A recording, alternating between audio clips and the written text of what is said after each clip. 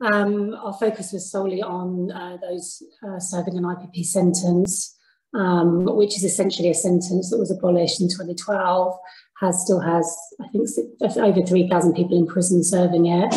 Um, most were given a very minimum tariff. Uh, I think 96% are now over tariff. Some of those are by 10 years or more. Um, and so well, you know, there obviously is a huge mental health issue within prisons, but what, what we do know is that those serving an IPP sentence suffer mental health at a much higher level because of the indeterminate nature of, of the sentence and, and they're not knowing when they're going to get out and if they're going to get out and kind of they, they often lose hope. So the self-harm and suicide rates are, extremely high for those serving an IPP um, sentence. In fact, I think it's it's, it's I think it's seventy percent higher for both self harm and suicide rates for both um, for anyone on the sentence. So when the opportunity came up to submit something, we you know we wanted to because it's such a huge issue.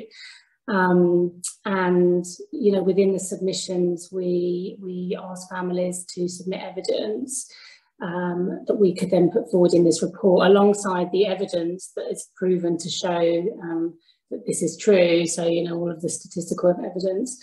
Um, and so, you know, I think we felt that it was an opportunity to kind of flag up this issue because, you know, not only is the sentence causing people to have extremely severe mental health issues, uh, they're also not given the support with that. So if they if either if they do manage to get released, they're then recalled because they're coming out with no support for their mental health, or they're just lost in the system because their mental health is so um, so bad that then they're then deemed too dangerous to be released because of the damage it's done to them.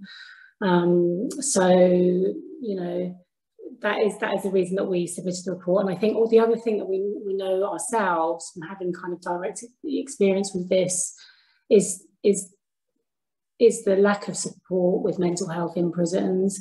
And almost for many, they're punished um, if if they are showing signs of mental health, you know, mental health issues or psychosis, um, you know, and which again will then just make that situation a lot worse for them.